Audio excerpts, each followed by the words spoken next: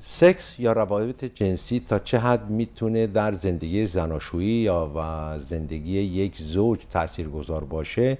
یکی از مسائلی است که در موردش صحبت زیاد شده. اخیرا در گزارشی که خبرگزاری رویترز در رابطه با مشکلات زوجها در ایران و مسئله سکس مخابره کرده به نقل از خانوم شهیندخت ملاوردی می‌گوید که 50 درصد از طلاقها در ایران به خاطر مشکلات جنسی است و روابط جنسی بین زن و مرد. ما در این رابطه با خانم دکتر آزیتا سایان صحبت خواهیم کرد. خوش اومدید خانم سایان. مرسی خیلی ممنون. سپاس از شما و روزنامه کیهان لندن. سپاسگزارم که اینجا هستم. این مشکلی رو که شما مطرح کردید من فکر نمی کنم فقط منحصر به ایران باشه.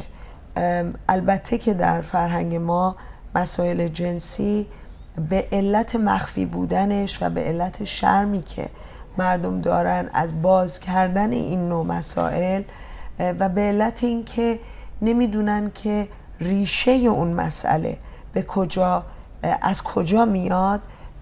برمیگردوننش به مسئله جنسی فقط. مسائل دیگه ای هم هست که رو مسائل جنسی اثرگذار میشه.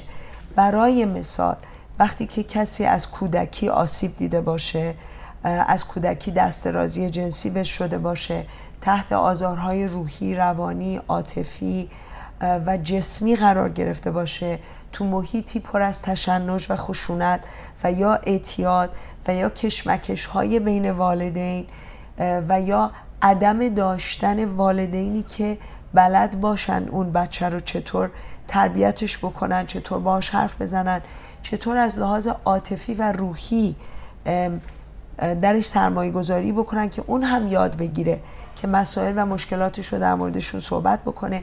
و یا ابراز بکنه حالا همون شخص بدون داشتن هیچ نوع تجربه در رابطه یعنی دوران کودکی با تمام مشغلات کودکی که اصلا آمادگی رو در روی با اونها رو نداره. و بعد تبدیل میشه به یک نوجوانی که در خفا باید با هورمونهاش و مسائل جنسی از نوجوانی آشنا بشه.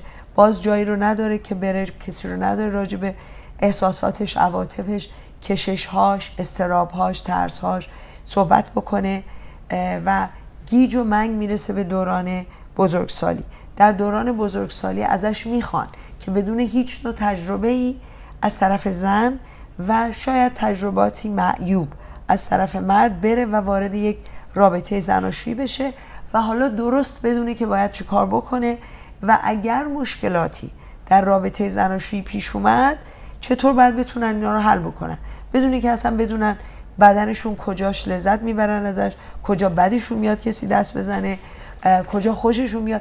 اصلا بلد باشن که صحبت بکنن یا حتی بدونن لذت چی هستش چی باید از هم بخوان چی دوست ندارن و با تمام اون خجالت ها و شرم های فرهنگی و شخصی که باید با یک غریبه در اصل وارد رابطه جنسی بشن.